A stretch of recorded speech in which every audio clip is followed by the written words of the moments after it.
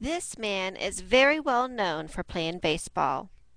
Jack Roosevelt Robinson, or Jackie, was born on January the 31st, 1919 in Cairo, Georgia, but grew up in Pasadena, California.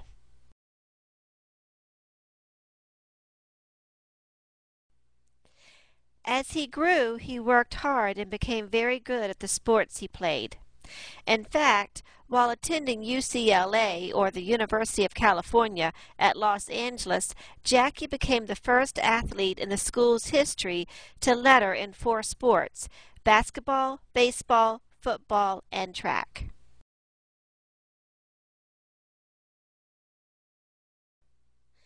In 1942, Jackie joined the United States Army and became a second lieutenant a year later.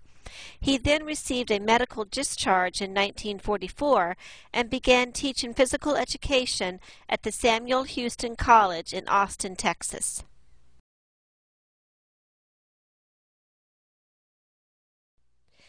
The next year in 1945, Jackie joined the Negro League and played for the Monarchs.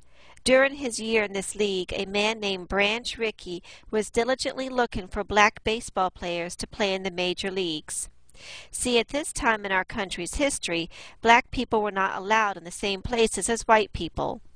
Everyone thought that Rickey was going to start an all-Negro league, but secretly he was looking for one player that was strong enough to break the color barrier that had plagued baseball for 60 years. In Jackie Robinson, he found that player.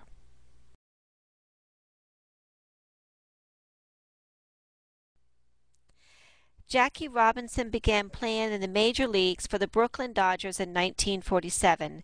He was the first black man ever to play baseball in the majors. He was 28 years old and older than other rookies. He had an excellent 10-year career with the Dodgers, stealing home 19 times in his career. The Dodgers wanted to trade him to the New York Giants in 1956, but Robinson was very loyal to the Dodgers and was grateful for what they had done for him and for civil rights, so he refused. He retired in January of 1957, having never played for anyone else but the Brooklyn Dodgers.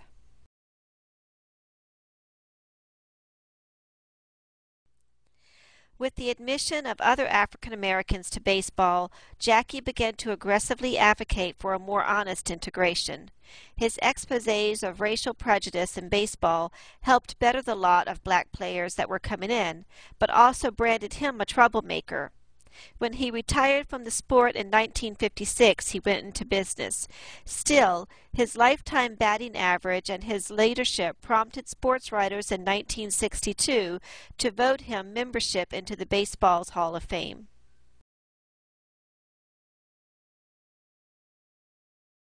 Jackie knew that he was a role model, and he knew that with this modeling would come great responsibility. So he continued to fight for increased civil rights and economic opportunity for black Americans. For his civil rights work, he received the Spingarn Medal from the National Association for the Advancement of Colored People in 1956.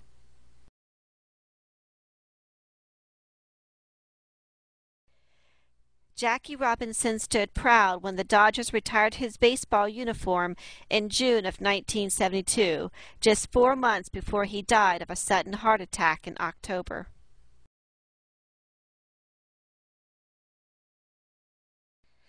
This stamp commemorates the life of Jackie Robinson.